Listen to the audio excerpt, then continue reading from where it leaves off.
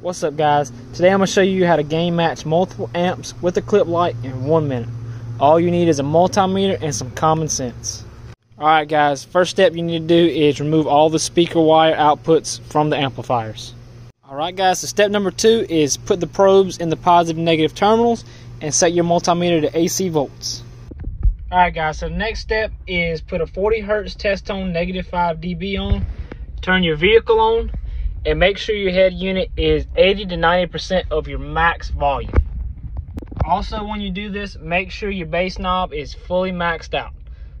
Alright guys, so what you want to do is use the multimeter and if you see yourself clipping, I want you to back yourself down just a little bit until your multimeter is clean AC voltage and you're not clipping.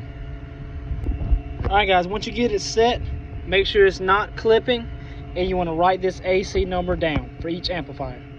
Alright guys, so once you find the AC voltage before it starts clipping on the top amplifier, I want you to do the same for the other ones, and I want you to write each individual one down, and the smallest AC voltage is what you want to set the rest of them for.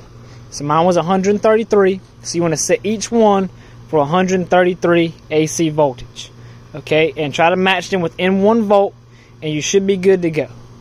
Alright guys, this is optional, what I do is put hot glue on the gain knobs so the gains cannot turn up while it's playing. Alright, so once you get the hot glue up there, just reinstall the speaker inputs and you should be good to go. And that is how you gain match multiple amplifiers.